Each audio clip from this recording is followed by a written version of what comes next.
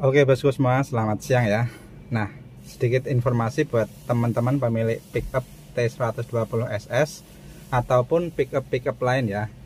Nah, ketika ada trouble, itu misalkan kita masukkan gigi satu, terus kita lepas injakan kopling ya.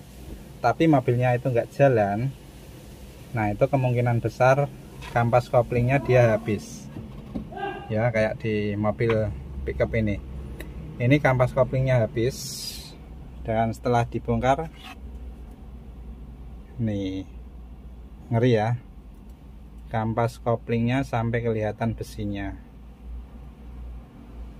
Bener-bener hangus habis.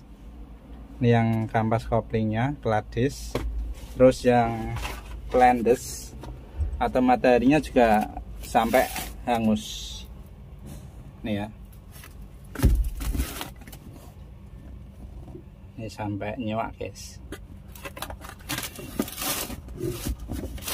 Nah ini hampir sering terjadi buat pickup pickup yang misalkan muatannya itu overload terus slip ya.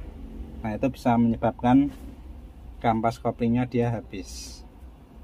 Oke. okay ini di T120SS kilometernya masih 102.000 nah kalau habis seperti ini guys mau nggak mau harus ganti kampas kopling sama blendes terus kalau bisa sekalian sama trip lagger dan juga pilot bearing.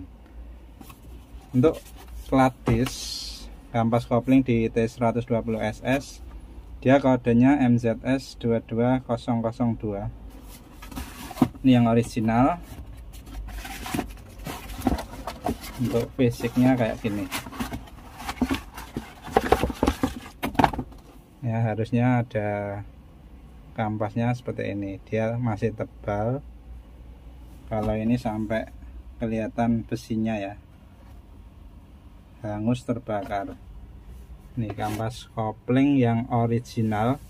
Ini harganya 680.000 kalau yang kelat disnya kelas cover maksud saya yang plendes ini harganya 800.000 yang kampas kopling 680.000 yang clutch covernya 800.000 nih plendes yang baru.